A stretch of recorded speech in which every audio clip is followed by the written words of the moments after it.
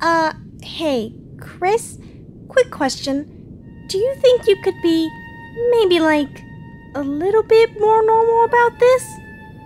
I don't think that's even remotely a possibility. Thank you for your honesty.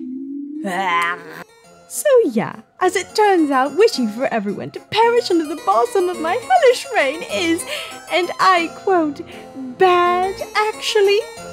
But balsam? It means titty. I knoweth what it means. I lose at everything. I even lost my glasses. Oh, I'll help you find them for $4.99.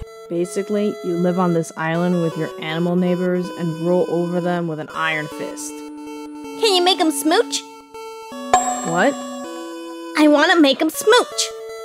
I mean, we can try. violated, overtaken, ripped apart.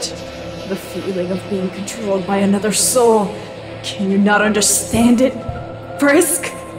Chalky milk, chalky milk, chalky milk. Uh, never mind.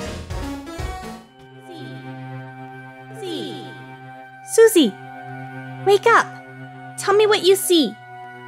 A big nerd. And what do you suppose that means? Huh? It means you're the big nerd. Susie. Mm, Kris, why? Why why did you open the fountains? to measure my abilities. What?